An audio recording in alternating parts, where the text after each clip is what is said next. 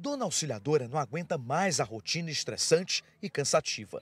Com o carro de mão, ela passa o dia inteiro assim, pegando água longe de casa. É de horta, eu e essa senhora já de idade, que não tem condição de pôr esse carrinho, já estou com os pés feridos e hoje está completando seis dias que não tem uma gota de água nas torneiras. E quem não pode fazer o mesmo, só resta esperar.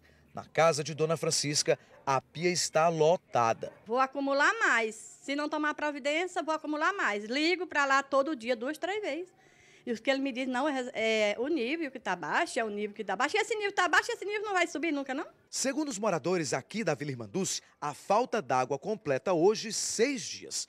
Eles afirmam que fizeram várias reclamações para a Gespisa, mas o problema não foi resolvido e as torneiras continuam vazias. Seis dias sem água. Meu menino está ir para a escola porque não tem água para tomar banho para ir para a escola. Na escola também não tem água também. O que a senhora acha dessa situação? Tá péssimo.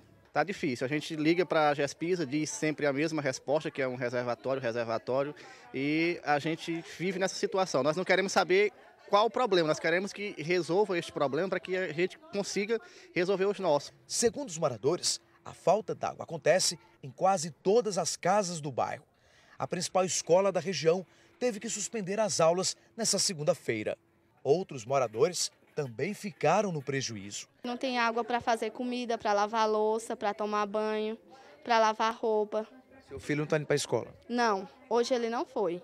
Dona Socorro não sabe mais o que fazer.